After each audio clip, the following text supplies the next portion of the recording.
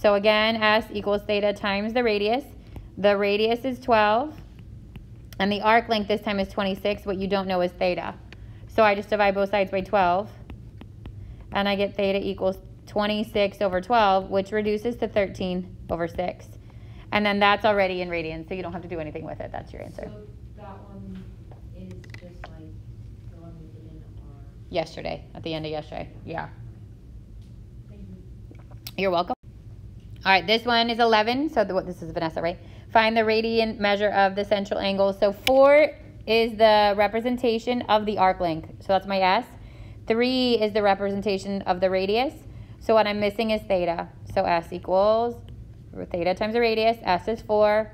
Theta is what I don't know. The radius is 3. Divide both sides by 3. And I get theta is 4 thirds. If it wanted it in degrees, then you'd multiply it times 180 over pi. Okay, this is 3 and then that 4b. So 3 says determine the quadrant in which the angle lies. Okay, so these are in radians but without pi. So these are the ones that are a little bit trickier. Remember all the way around your circle would be, it would go from 0 and then it would go 2 pi. And that 2 pi without pi would be 2 times 3.14. So it's also 6.28. This side would be 3.14. So I, I said it not yesterday, but the day before, that for me, I kind of just like eyeball that a little bit less than that 3.14 would be 3. So I kind of do this, and I would say, okay, this would be 3. And a little bit less than that 6.28, that would be 6. And then I kind of divide the remaining angle here, this part, into two smaller parts. So I would do it like this, and then like this, and that would be one radian, two radians, and this would be four, and this would be five. That kind of just gives you a range. It doesn't have to be perfect, but something like that. So when you see negative one, you're going the other direction to negative one, which is here, would fall right here. So I know that's in the fourth quadrant. Now eight, think about what's happening. If I took away the 6.28, even if you just took away six, you know it's two-ish, right? So I'd go, this would be 6.28, this would be 7.28, this would be 8.28, which means that 8 is a little bit less than that, which would be in that second quadrant. Yeah, I mean, you want to know a roundabout. Like, I know halfway is 3.14. Oh, okay. 8. It's pretty close, but it's definitely closer. Like, I know that that is, yeah. I know that the 8 would be a little bit past it, but it's pretty close. Like, I probably wouldn't do something that close if it was a test question, just because that's kind of tricky because it's pretty close. Okay, so then this one, negative 3. So now you're going the other way, right? So you know it's this way because this here would be negative 3.14, and it's just shy of that. Everybody else is good? Good from home? No questions on the homework?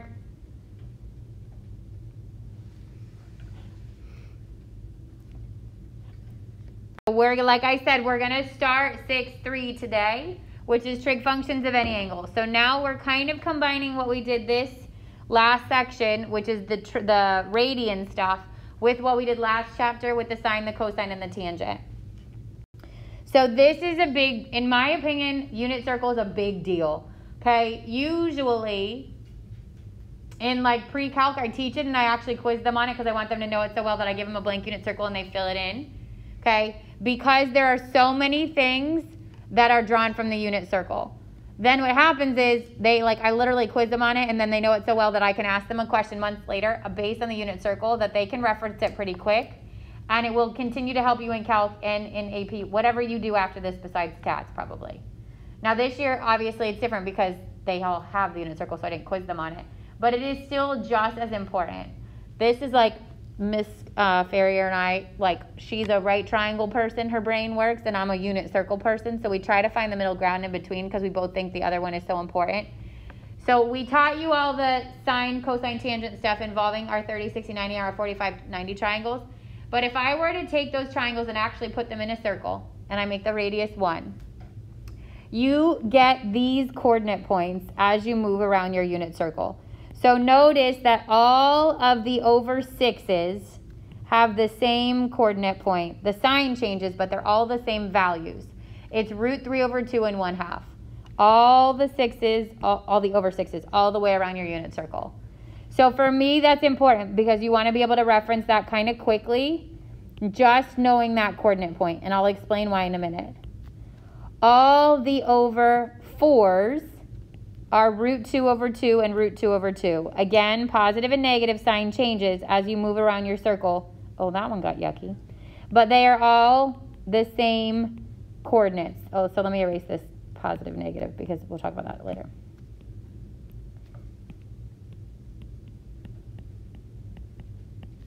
And then all of the over threes are also the same. And that's the reverse of the over sixes. So think about how this overlaps with what we already know. If I were to take pi over 6 and convert it into degrees, so I'd multiply it times 180 over pi. The pi's would cancel. 6 would go into 80 30 times. So 6, pi over 6, is the same thing as 30 degrees. Pi over 3 is the same thing as 60 degrees. And pi over 4 is the same thing as 45 degrees. Hopefully those angle measurements sound familiar because those are our special right triangles. So if I had a 30, 60, 90 triangle with a radius of 1, opposite the 30 would be 1, opposite the 60 would be root 3, and opposite the 90 would be 2. So if I asked you for the sine of 30 degrees, you would tell me it's what? Based on this little right triangle. Sine is opposite over hypotenuse, right? So what's the sine of 30 degrees? A half. If I asked you for the cosine of 30 degrees, you'd tell me it's what? Root 3 over 2. How about the tangent? at 30 degrees.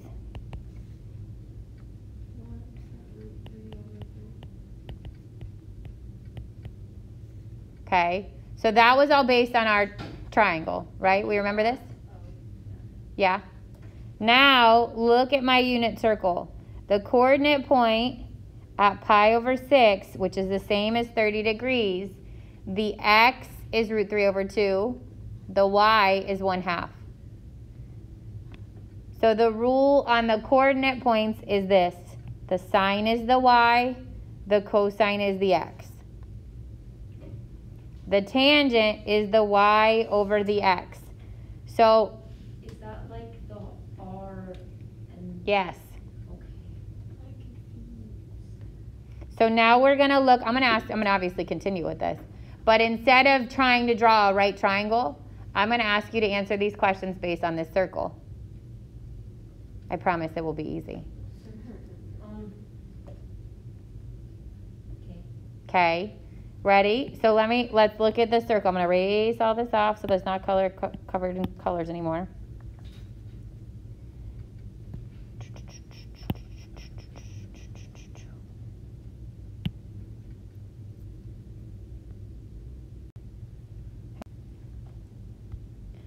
Come on. I'm frozen. There we go. Unlock. Oh, hang on. Sorry. Let me group it.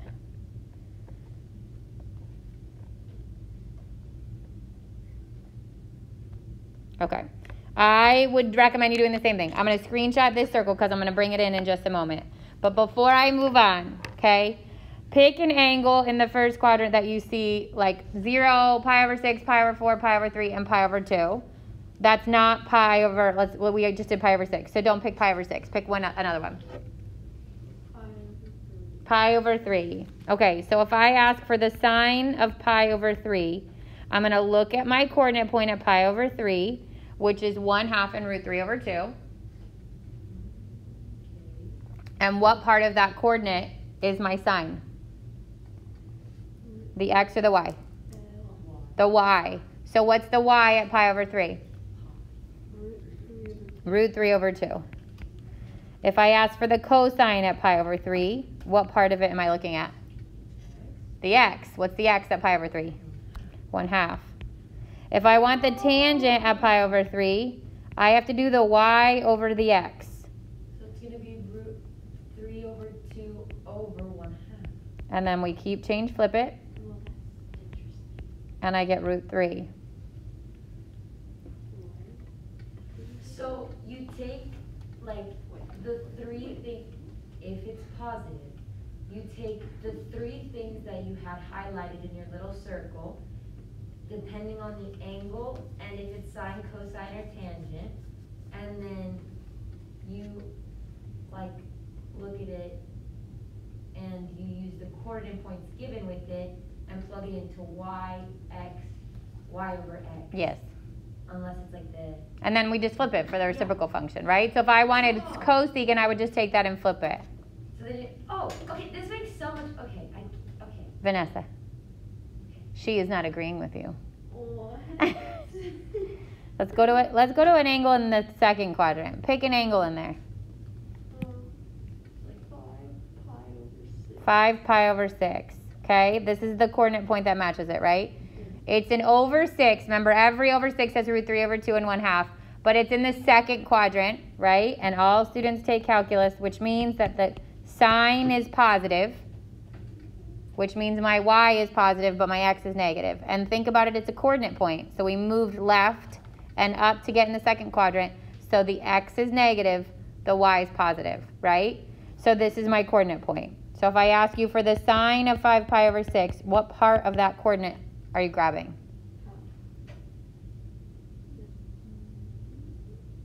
What did you say? Oh, I thought you said the x. The half, yes, because it's the y. Sophia looked at me like, I think you're wrong. so if I ask for the cosine of 5 pi over 6, your answer would be what? Negative. Root 3 over 2.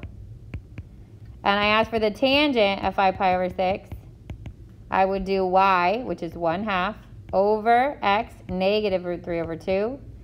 Keep, change, flip. And I get negative 1 over root 3, which becomes root 3 over 3. Negative root 3 over 3. But what about the bottom? What about the bottom? Like, What do you mean the bottom? oh. I keep change flipped it. Is that what you mean? Yeah. Yeah. I was, looking. When you you say only do it to the top. So you keep the 1 half, you change it from division to multiplication, and you flip the negative root 3 over 2. oh. But you- But, but you were saying, okay, but you were saying before, like, the positive and negative stuff, do you actually know that, or can't you just, like, look at the, like, like, So at some point, it's not going to be on this circle anymore.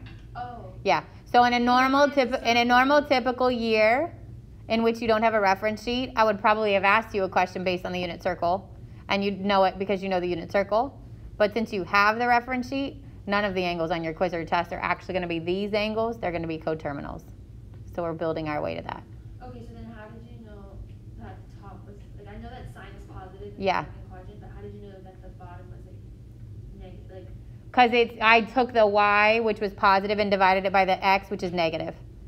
but how did you know, like, that the x and the y, like, how did you know what the sign was on the x y?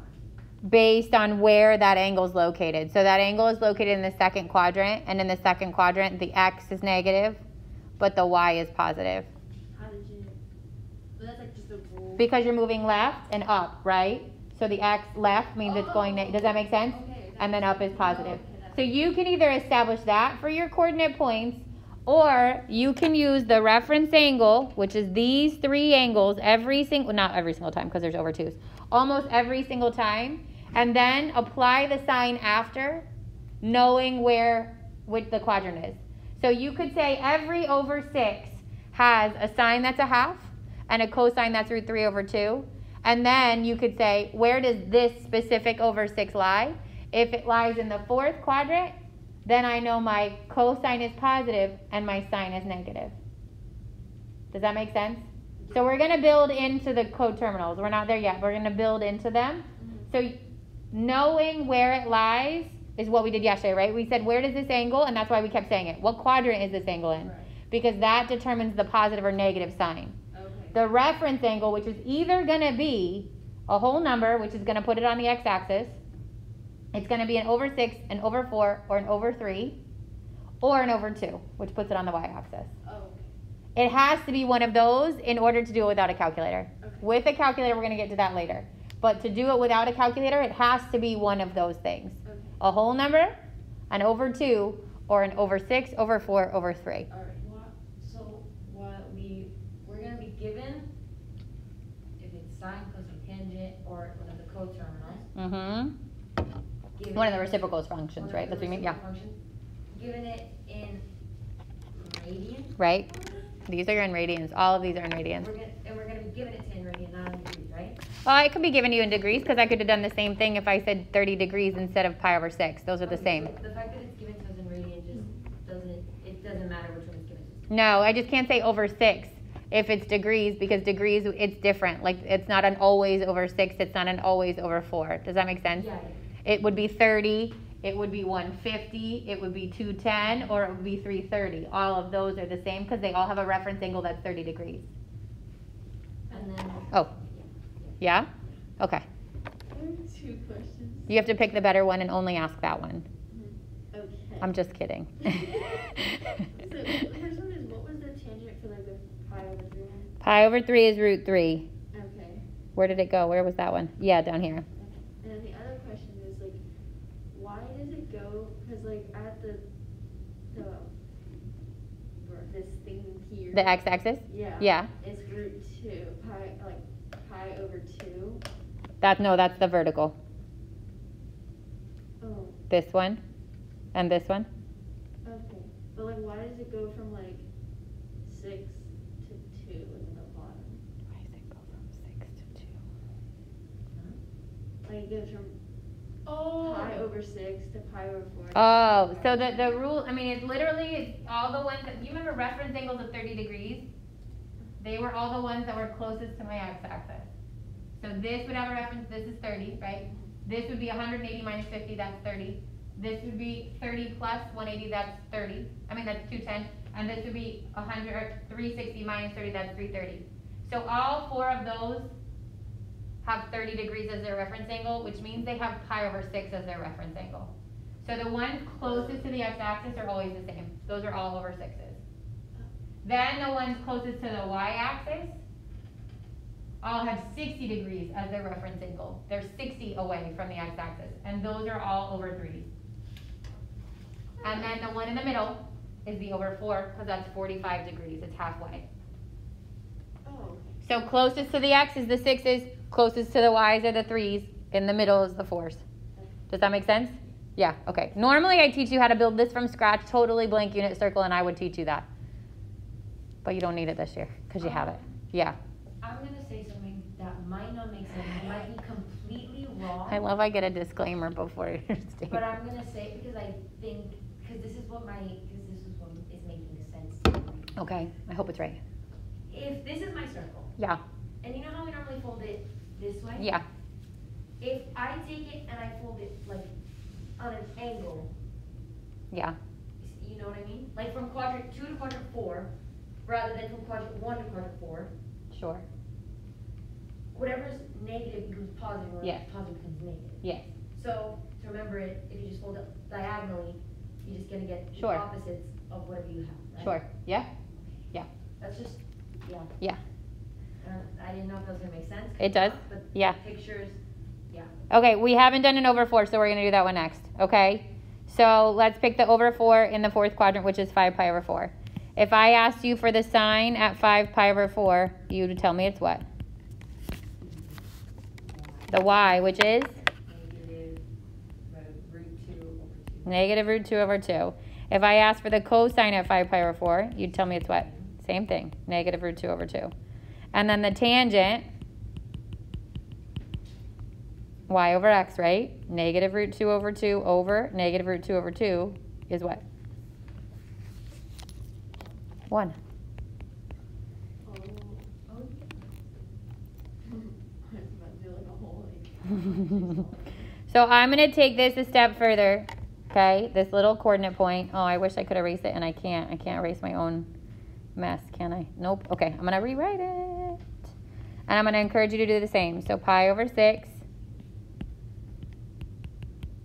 pi over 4, pi over 3, root 3 over 2, 1 half. This you already have, unless you didn't write it. And then I would strongly recommend that you write this down because it's going to make your life easier from here on out. 1 half, root 3 over 2. And I'm going to say this is my cosine. And I'm going to say this is my sine because the x is the cosine, the y is the sine. And then wait, because I'm going to do one more step. We're going to do tangents. So if you want to have a chart, I would love for you to memorize this because this will make life easier moving forward when you don't get notes. But if you want to, if you want to write it down for now, that's fine. If I did the y over the x, because it's the same thing every time, right? So if I did the y over the x on the pi over 6, I get root 3 over 3. If I do the y over the x on the over 4, I get 1. And if I do the y over the x on the pi over 3, I get root 3.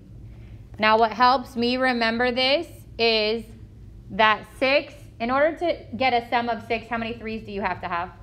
2. And there's two threes in that tangent. In order to get a 3, how many 3's do you have to have? 1. And there's only one 3 in that. So that's for me how I memorize it. Okay, but this in my opinion, is probably one of the most helpful things that you can remember from the unit circle. Okay? And again, I wouldn't want to have to reference that every time. It's super important. This is one of those things that you want, like in your brain. You will use sine, cosine. Like I just subbed Miss Ferrier's AP Calc last week, and somebody's like, What's the sine at pi over 3? And I was like, I know this answer. I don't know anything else that they talk about in that class, but I knew that answer because it's unit circle based. Okay? Mm-hmm. On the box that I just, yeah.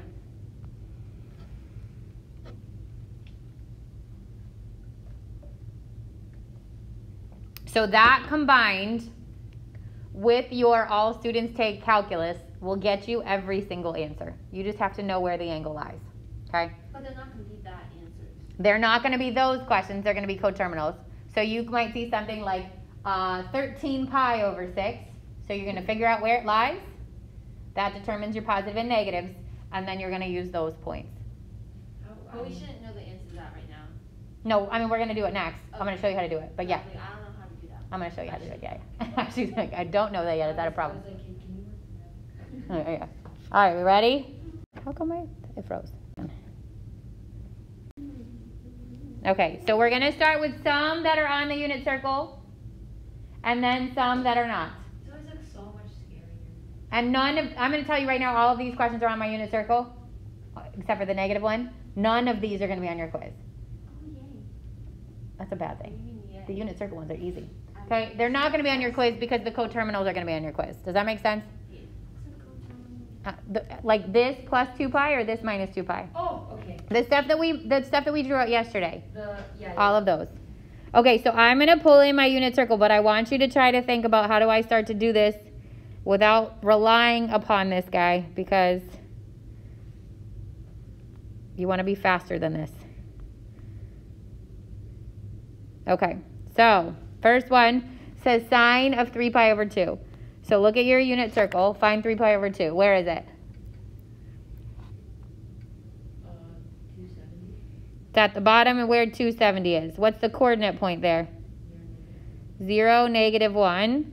What's the sine of that? Negative 1. Then it's, people stop giggling like a five year old and pay attention and you'll figure it out. Are you still watching Sophia take a tumble or there's something funnier now? Was that one of the things on the circle? Yep. 3 over 2 is here. Oh. The coordinate point there is 0, negative 1. And the sine's the y, so negative 1. Use those two. Uh huh. Yeah. It's just that not all, I mean, all of them are some combinations of zeros and ones. It's just that they're positive and negative and they move around. So you can't memorize those like you do the other ones. All right, so same angle, but now the cosine. So what's the cosine at that same angle? Zero. What's the tangent at that angle?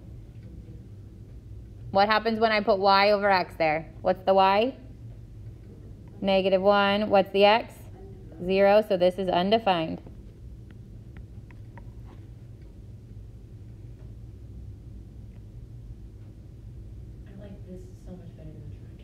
For me, I'm a unit circle person. Like I took pre-calc. I mean, I took I took algebra two honors in high school, and I didn't know what the heck my teacher was saying. It was the worst math class I ever took. I hated it.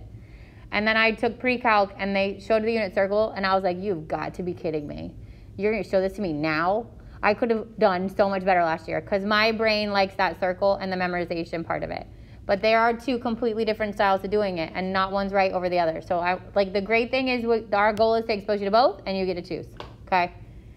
All right. So cosine of seven pi over four. Seven pi over four is on my unit circle. Find it. Where is it? It's here. So I'm using, I know it's in over 4, so I already know that coordinate point. So before I even find it on my unit circle, I know that the coordinate point here is root 2 over 2 and root 2 over 2. And I know that because it's in over 4. Now, the locating it on my circle is important because that tells me the positive and negative signs here. So in on that unit circle in the fourth quadrant, the x is positive and the y is negative. Wait, so like, all, if it's over four, it'll always be the, that, that, As long as it's simplified. Like if it was 8 over 4, it's not because that ends up being 2 pi. okay. But if it's simplified, then yes. What was five over four? 5 over 4, it has that coordinate point. And that's in the third quadrant. Oh, okay. Yep. 35 over 4 has that same coordinate point. It's just in the, what was that? 35 over 4 would be 8, right? And 3 fourths. So that's in the second quadrant. That's what I'm going to teach you how to do. We're going to get there. Okay. All right. Sine of 7 pi over, no, sorry, cosine of 7 pi over 4 is what? Root 2 over 2. Sine of 7 pi over 4 is what? Negative root 2 over 2. It's not on here, but what would the tangent of 7 pi over 4 be? Negative 1. Careful, right? Because one's positive, one's negative. Okay. All right, now we go, I'm going to go to 7 and 8, and then I'm going to go back to 6. 7, 2 pi over 3. What's my coordinate point at a pi over 3? Uh, 1 half and root 3 over 2. Where is 2 pi over 3? Quadrant two. So what are the positive negative signs on that one half and root three over two? Negative and positive. So what's the cosine at pi over three?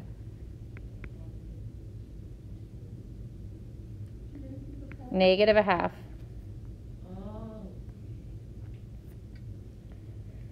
Eight, four pi over three. What's the coordinate point there? One half and root three over two. I look at the 4 pi over 3 would be where on my circle? Quadrant 3. So the signs would be? Negative and negative. What's the cosine? Negative 1 half.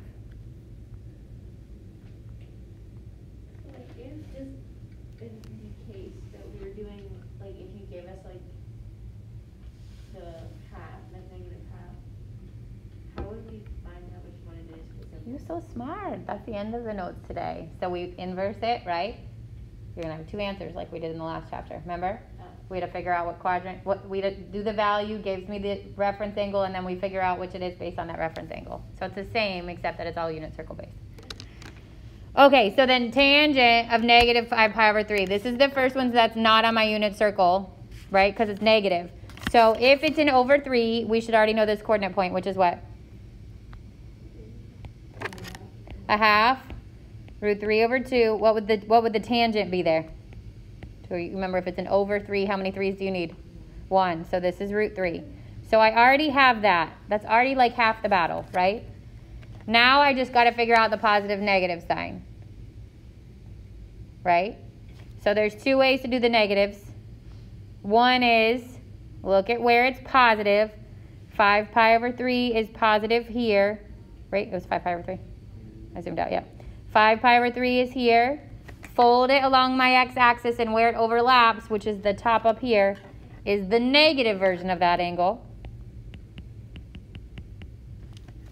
Or we convert this into a mixed number, negative 1 and 2 thirds pi. And after we talked about this yesterday, hopefully this is a little bit fresh. Negative 1 would be here. 2 thirds is bigger than a half, right? So it goes into the next quadrant, and I know it's now in quadrant one. What? So the negative one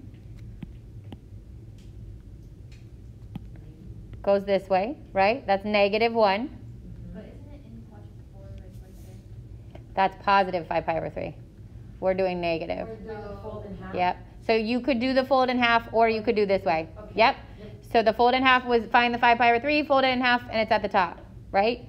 The other thing is work your way this way. So negative 1 is here. This would be negative a half. It's bigger than that, which means it goes into the next quadrant. And now I know it's quadrant 1. So in quadrant 1, is my tangent positive or negative? Positive. So root 3 is my answer. And that folding thing always works? Yep. You still breathing? Yeah.